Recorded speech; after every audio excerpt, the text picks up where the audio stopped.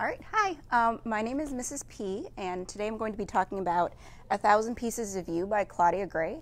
It's a science fiction book, and it's the first book in a trilogy. So the basic premise is that um, the main character is a girl named Marguerite, and she has two parents who are scientists, and um, they're really brilliant and physicists, and her mo- mother especially is like really brilliant, and she's um, come up with a device that allows people to travel to different dimensions. So when you travel into a different dimension, you travel into a different version of Mrs. P, but I would exist in a world that was maybe similar to mine or maybe completely different, depending on how different decisions that are made throughout my life have determined where I am and what the world is like.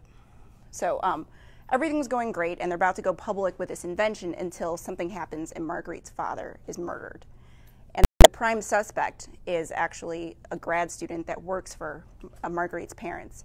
And the grad students that work for her parents are like really close to the family, so this is someone that she really thought of as a friend and even um, maybe even more. And so she can't believe this has happened. And the only way she can avenge her father's death is to use the um, the invention, the Firebird, to travel to the different dimensions to chase after um, Paul, this grad student who has allegedly murdered her father.